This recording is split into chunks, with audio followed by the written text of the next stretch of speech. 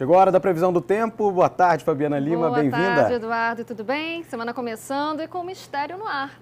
Ah, Vem é? comigo, vamos ver, roda as imagens aí, que gente. Que mistério é esse? Olha essa bola de fogo cruzando aí o litoral de Santa Catarina, chegando no mar ali, deixando a galera apreensiva, o que está acontecendo, o que, que é isso, o que está rolando.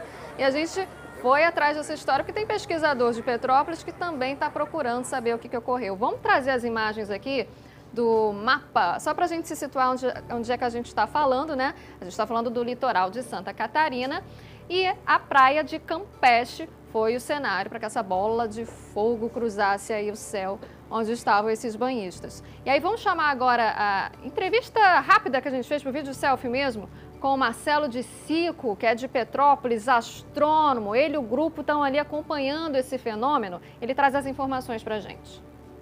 O nosso grupo de pesquisa de meteoros e bólidos, o Projeto Exos, ele entrou em ação já desde ontem e para avaliar esse caso. E a nossa conclusão, o que é mais provável, é que a população dali presenciou uma grande bola de fogo, né? um objeto que veio do espaço sideral, penetrou nossa atmosfera a uma grande velocidade, talvez a massa de alguns quilos, bólido era bem menor, ele foi na direção do oceano e se algum pedaço, né, algum pedaço de rocha né, sobreviveu, ele caiu no oceano.